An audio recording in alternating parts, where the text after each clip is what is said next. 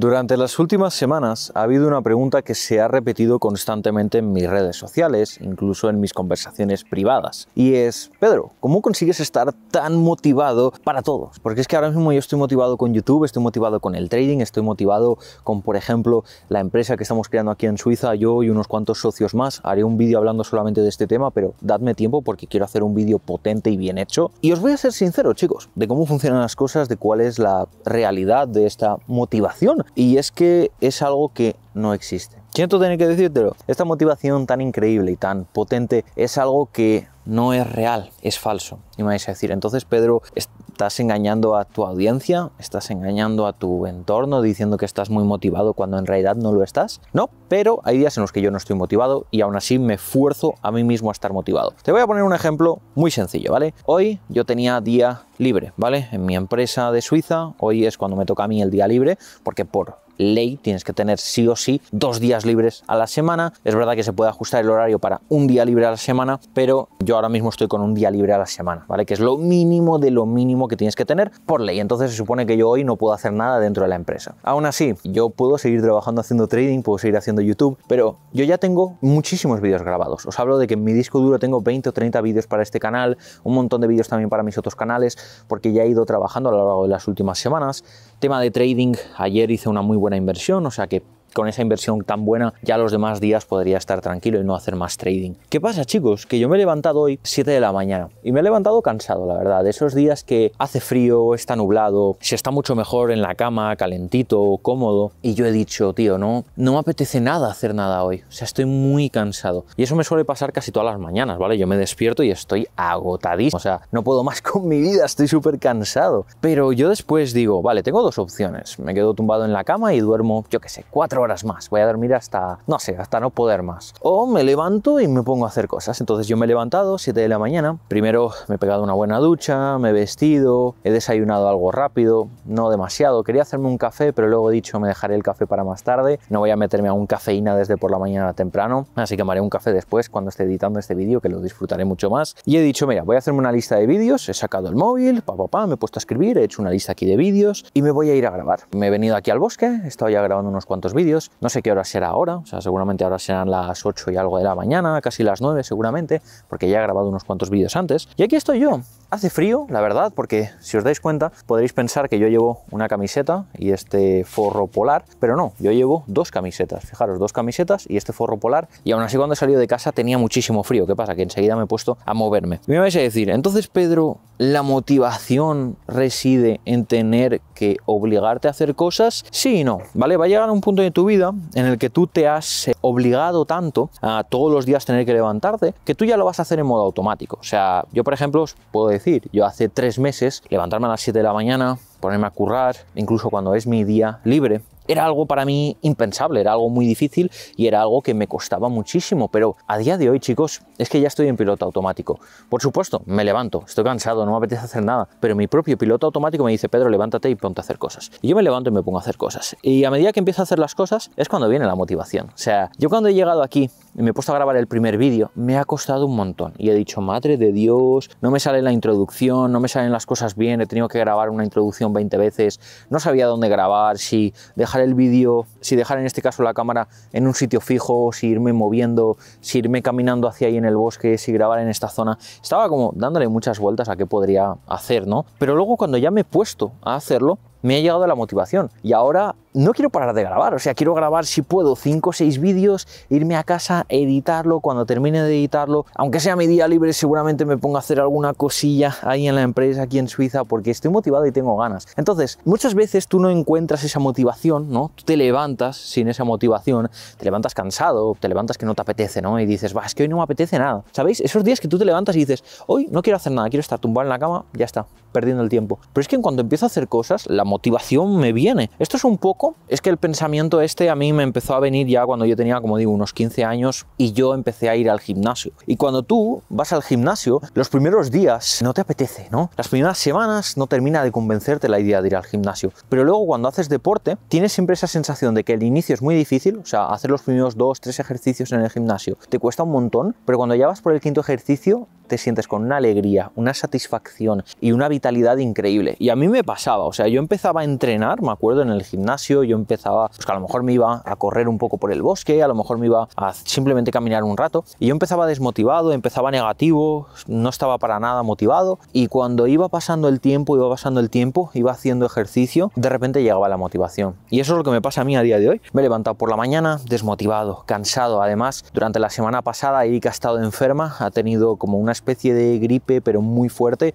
ha perdido el olor, tenía mucha tos, muchos mocos. La verdad es que Erika ha estado bastante enferma y yo creo que me he contagiado pero es que ahora no tengo tiempo de ponerme enfermo. Y esa es la realidad. O sea, ahora a mí, desde hace como dos, tres días, me duele un poco la garganta, me duele el cuerpo, me noto con dolor de cabeza y aún así sigo currando. Sigo currando es que incluso más, os diría. ¿Por qué? Porque no puedo parar. Y cuando tú no puedes parar, tu propio cuerpo te saca una energía que no tiene una explicación, de verdad. Tenéis que probarlo, chicos. O sea, tenéis que empezar a trabajar fuerte y esa energía, esa motivación, es que no sabría explicarlo. No sé decir si esa motivación es algo espiritual, es algo que llevas tú dentro, a lo mejor es Dios, a lo mejor es el destino, no lo sé, ¿vale? No sé cómo explicarlo. Pero sí que os puedo decir que esa motivación que te entra es increíble. O sea, me pasó ayer por la tarde, ¿vale? Yo ayer por la tarde llegué de estar trabajando en mi empresa aquí en Suiza y cuando llegué a casa me puse en el ordenador y estaba preparando algunos YouTubes. Y me acuerdo perfectamente que yo hice la lista y eran unos 80 vídeos que tenía que preparar y yo dije, madre de Dios, o sea, hacer 80 títulos, 80 etiquetas, 80 miniaturas, era una barbaridad de trabajo. Y me acuerdo que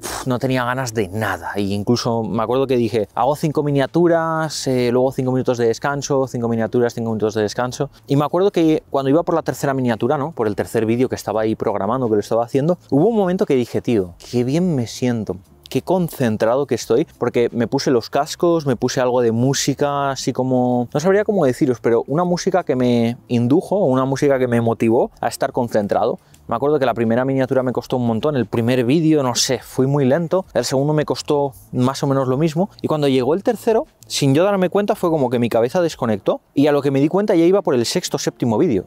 Y yo dije, coño, si yo había dicho que cada cinco miniaturas me tomaba un mini descanso, y resulta ser que voy ya por la sexta o la séptima miniatura, el sexto o séptimo vídeo, y aquí sigo dándole caña. Y fue ahí cuando yo dije, tío, o sea, he conseguido entrar en un estado que es un de automatización, de que tu cabeza va sola y tú no te das cuenta. Es como que estás haciendo las cosas en piloto automático, un piloto automático, por supuesto, bueno, ¿vale? No significa que tú estás ahí delante del ordenador, modo zombie distraído, no, no. Tú estás trabajando, pero en modo automático y el tiempo pasa volando y el trabajo te lo haces volando. Y a lo que me di cuenta, os lo prometo, o sea, para mí en mi cabeza habían pasado 30 minutos y en realidad habían pasado 3 horas. 3 horas de preparar vídeos, preparar YouTube Short, títulos, miniaturas, todo. Y para mí habían sido como 30 minutos, os lo prometo, y habían sido 3 horas de trabajo. ¿A qué me refiero? Que cuando tú consigues encontrar ese piloto automático, pues ya tienes un gran amigo ahí, ¿no? Tienes una gran ventaja de ese piloto automático que le llamo yo. Esto es algo que lo explica Napoleón Hill en un libro, que por cierto lo tengo comprado, pero aún no he tenido tiempo de leérmelo, ya que me compré hace poco una tanda de libros eh, para leer durante estos meses, pero aún no he tenido tiempo de leerme ese en concreto. Y justo Napoleón Hill lo que comentaba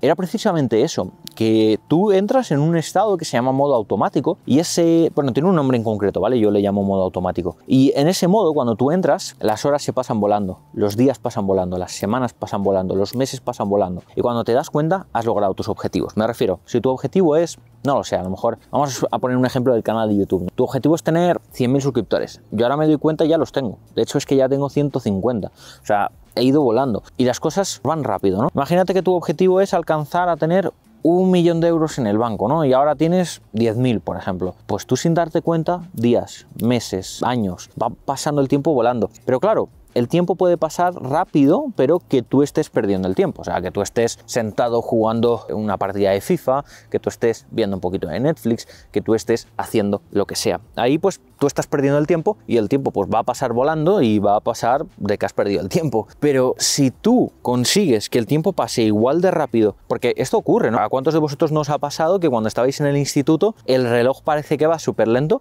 pero tú luego llegas a tu casa, estás echando una partidita al FIFA, te vas con tus colegas a jugar al fútbol y miras el reloj y dices, madre de Dios, si el tiempo ha pasado volando, ¿qué ha pasado aquí, no? Pues precisamente es eso, porque tu cabeza entra en un estado de disfrute, de placer, en un estado de estar bien, de estar feliz y el tiempo pasa volando. Pues puedes conseguir lo mismo trabajando, o sea, tú puedes conseguir que el tiempo pase volando, que el tiempo vaya rápido y esa es la verdadera clave, es el verdadero secreto para alcanzar el éxito. O sea, yo ahora mismo lo pienso y digo, ostras, hacer 80 YouTube Short es una auténtica barbaridad. O sea, es una locura, tío. O sea, yo me pongo a pensar 80 títulos, 80 miniaturas, 80 etiquetas, cuadrar todos los vídeos, porque luego tienes que, por ejemplo, lunes por la mañana este, por la tarde este, por la noche este, hacer cuadrar todo, que esté bonito, que esté elegante, que no se repitan temáticas. O sea, es una locura. Pero yo luego digo, y también me pongo a pensar y digo, es que lo hice rapidísimo. O sea, en un momentito yo me hice esos vídeos sin darme cuenta, con pura motivación, con pura inspiración. Y hubo un momento que me dijo, Erika, estabas tan concentrado que yo quería decirte algo y no me atreví ni a acercarme a decirte nada, porque del nivel de concentración que tenías, no quería interrumpir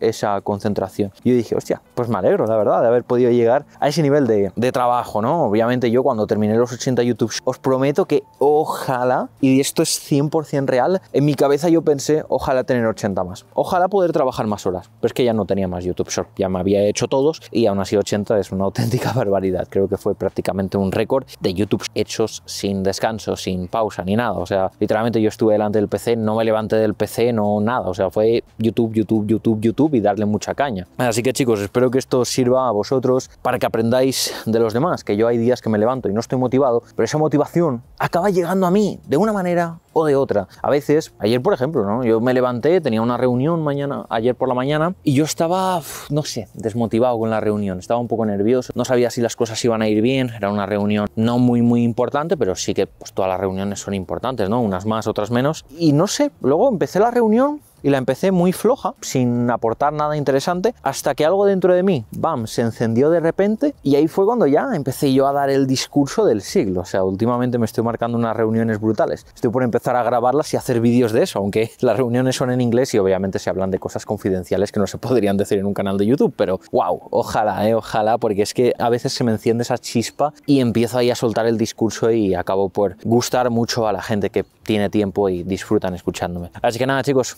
espero que este vídeo os haya gustado, que lo hayáis disfrutado y yo ahora ya, y sin nada más que deciros, nos vemos en un próximo vídeo. Adiós.